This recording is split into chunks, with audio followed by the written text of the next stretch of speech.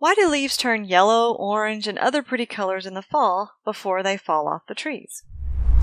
Well, all of those colors or pigments were there all along, but there was so much of another pigment present that it masked the other colors.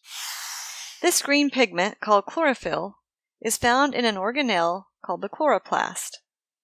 Chloroplasts are found in plants, algae, and even in some bacterial cells. Plants carry out an important process in the chloroplast called photosynthesis. Photosynthesis converts carbon dioxide gas into sugar or food. This process requires sunlight as the energy source. What do we know about carbon dioxide? Well, you're breathing it out right now as you watch this video. It is, in fact, a waste product that your cells produce in order to use the nutrients in your food. As we learned in cellular respiration, cells must have ATP or energy to survive. By making their own sugar, plants supply fuel for cellular respiration in their cells. Plants are called photoautotrophs because they use the sun to self feed. In other words, they make their own food. Photoautotrophs are the base of the majority of food chains. This means we are dependent on plants. Without plants, we would not have a food source.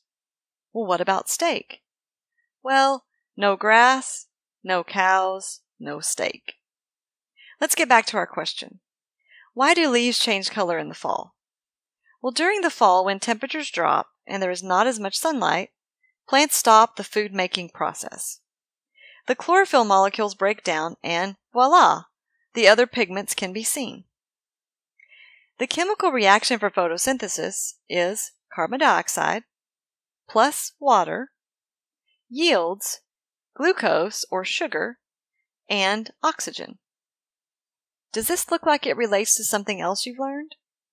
If you flip this reaction, you have cellular respiration.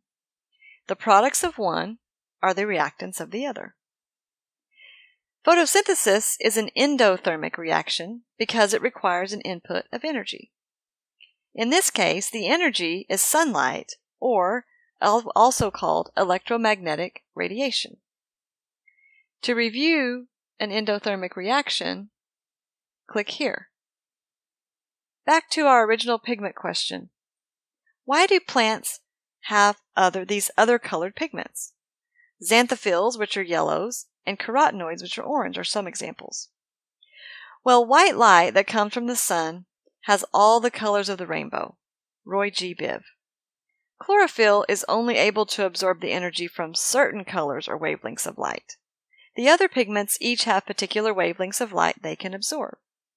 The more wavelengths of light a cell can absorb, the more energy it can obtain from the sun.